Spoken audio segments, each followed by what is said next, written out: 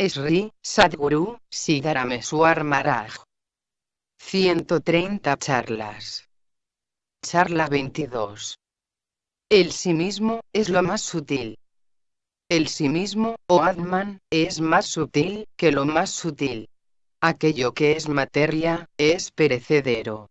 Lo que es más sutil, es lo más poderoso. El agua, es muchas veces más poderosa que la tierra. Podemos continuar viviendo por un tiempo, si falta el alimento de la tierra, pero no podemos vivir sin agua.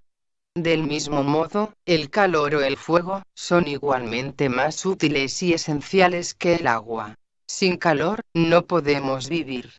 Cuando el calor en el cuerpo se va, el cuerpo muere. El aire o viento, es aún más poderoso que el calor. Sin respirar aire, el cuerpo no puede vivir. En el mundo, hay 10 dígitos. El número 10, está formado por el 1, y el 0. Sin embargo, ¿cuántos números hay acaso en el mundo? Solo uno. Solo uno, y ese sigue aumentando. Este 1, es el resultado de 0. El agua, es 10 veces más sutil que la tierra. 1 y 0, es 10. A partir de 10, las cifras cambian nuevamente. El aire, es diez veces más sutil que el fuego. Si el fuego hubiera sido igual al aire, habría devorado el aire. Si hay aire o no, se puede conocer, al observar la llama.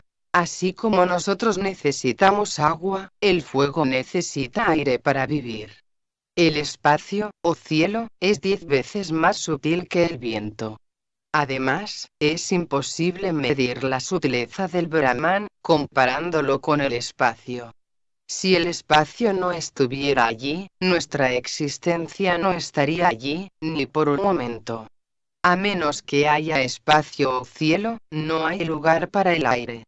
Dios ha creado ese elemento, suficientemente a gran escala, sin el cual, las criaturas no podrían vivir. El sí mismo, es totalmente sin forma. Ese, que es el más sutil y el más poderoso, lo sabe todo. Sin embargo, todos los cinco elementos, no lo conocen. El sí mismo, lo sabe todo. Él, es el conocedor. El sí mismo, es autoexistente, y no es sostenido por nada. Debido a una lámpara, todos los objetos son vistos. Los objetos no hacen que veamos la lámpara. Por lo tanto, la lámpara es superior. Aquel quien tiene la conciencia de la lámpara, es más superior, y la superioridad del intelecto, es aún mayor que esta conciencia. Un elefante, es muy grande, pero un hombre cabalga sobre él. El elefante no cabalga sobre un hombre. Así, el conocimiento es muy valioso. Es por el sol que todos los objetos son vistos. La lámpara, así como todos los diferentes objetos del mundo, se ven a causa del sol. El sol no es visto a causa de ellos. Además, por la luz de quien son vistos todos los objetos, incluido el sol, es por la luz de él sí mismo que ellos son vistos. El sí mismo, es lo más valioso y lo más poderoso, y es el único conocedor de todo. Nadie lo conoce a él. Es el sí mismo supremo, el Paramatman, el que le da el poder de movimiento a todo. Es él, quien otorga el poder de la vida. El sí mismo, es el rey de todo. El sí mismo, es supremamente sutil como él mismo. En la raíz del mundo, no hay ninguna cosa, un vacío.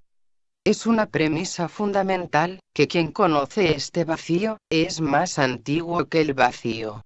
Por ejemplo, ¿quién es acaso el testigo de que estaba teniendo un sueño, sin sueños? Es el Paramatman. Él, es el átomo, la misma sustancia, de todos los átomos. ¿Cuál es acaso el significado de morir? Significa que el cuerpo se convierte en tierra. Lo que sea materia grosera, vuelve a la tierra. Uno que conoce este inmortal y más sutil sí mismo, obtiene el poder de la vida, el ánima. Meditaren, yo soy ese Brahman sutil y autoluminoso, que es de la naturaleza de la conciencia, es el estado de conocerse a sí mismo. Este Dios, o sí mismo, o Atmaran, es autoevidente, o evidente por sí mismo. Es el sí mismo quien es el Dios del alma o Atmadeva, quien es el observador o espectador, detrás del ojo. El oyente o escuchante, detrás del oído el olfateador o el que huele, detrás de la nariz, y el catador o degustador, detrás de la lengua.